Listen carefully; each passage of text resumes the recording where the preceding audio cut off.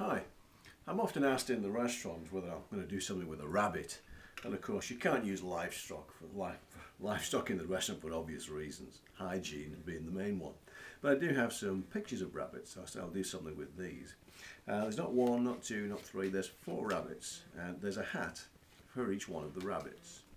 Now, the important cards to watch, of course, are the rabbit cards. I'm going to pop those down there, which leaves me with these four. And uh, these, of course, are the hats. Now, what I'm going to do is place one of the rabbits down here, which we like to say catalyst. Maybe it's a, a rabbit list, but anyway, uh, that's the first one. And on top of that, I'm going to place one of the hats. Now, magicians, of course, are famous for pulling rabbits out of hats, but uh, I'm famous for doing it the opposite way around, actually pushing rabbits into hats. You see, that's going, going, going, going, going, gone. And it really has gone, because now we've got nothing but hats here, because the rabbit actually hopped down here, you see, like that. Because that's what rabbits do, isn't it? They hop around. Let's try this next hat here. Let's pop him down. Followed by this little rabbit here. That's going, going, going, going, gone.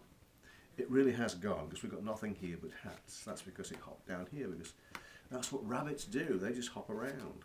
Let's try this one here again. Hat on the rabbits, rabbit into the hats. Going, going, going, going, gone. It really has gone because these are just uh, four hats. The rabbit hopped down here.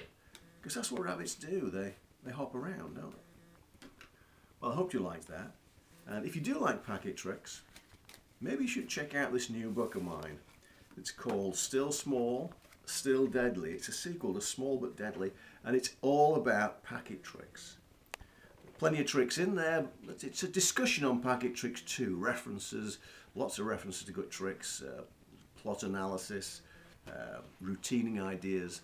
It's just a great book for people that love packet tricks.